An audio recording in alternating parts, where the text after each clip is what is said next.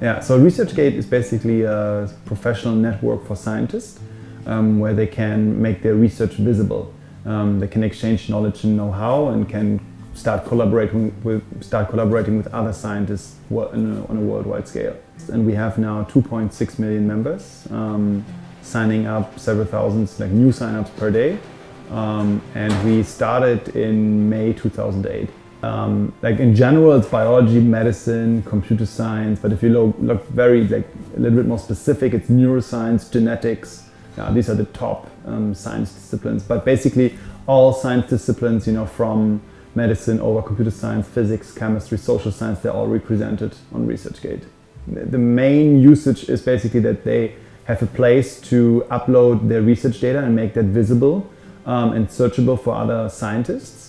Um, one very popular area is the topics area where they're discussing research related issues.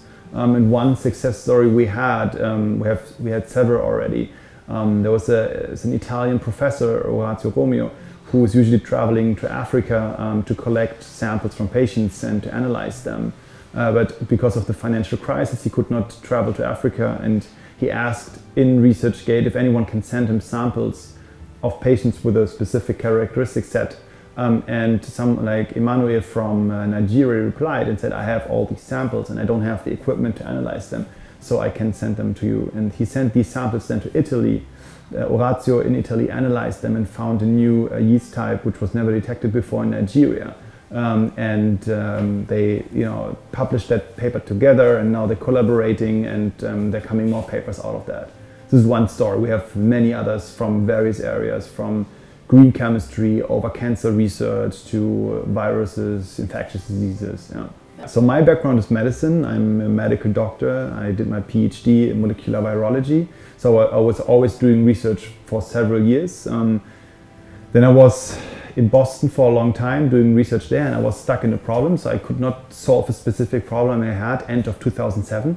And I started looking for someone helping me to solve solving this problem. So I used the Google, I used Google, I used different databases which we use in science, but they all did not um, you know have uh, the features I was looking for, and I couldn't find this this this uh, this person I was looking for. And then I just came up and said, you know, there has to be a network for scientists where exactly, you know, people can make their research visible and you can search for it and you can start collaborating with them. And I called my friend Sören Hofmayer, um, he was in Germany, so I called him and we discussed it on the phone and said, okay, let's do it. I started in Germany, so I wanted to work in Germany as a medical doctor and I, I noticed that I cannot do both at the same time.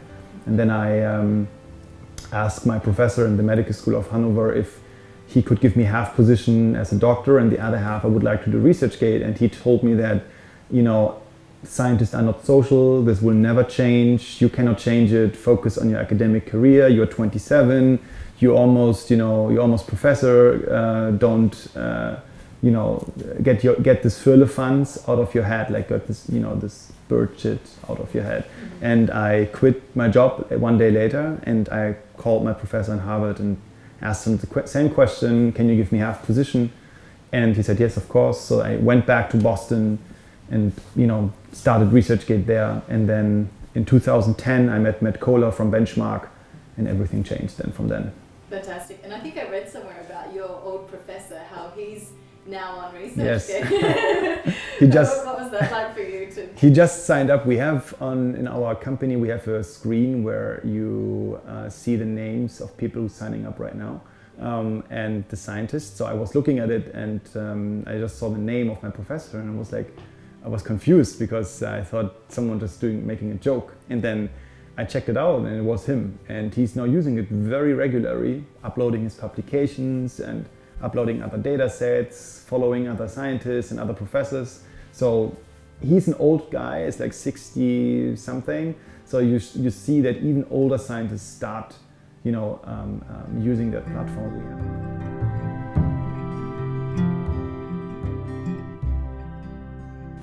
I knew that if you want to change the world, if you want to make something very big, and if you want to impact society, people have to be creative. And if they only can be creative if you give them the room to be creative. And this is by giving them you know this is a whole game floor. We are right now on, the game floor where we have like a table tennis a pool an air hockey a foosball sleeping rooms PlayStation, and we offer for every employee food every day. So you can order from from three different um, food uh, different food types every day or meals. Uh, you can order one, and um, all these. Then we have one feel good manager, Stephanie. I think you know her. She is just taking care of all these things, also about events, playing soccer, playing tennis, uh, playing squash. All these things just organized by her. We have we also um, rented a gym which is close by, um, so uh, where you know you, everyone can go and play, you know, soccer, basketball, volleyball, yeah.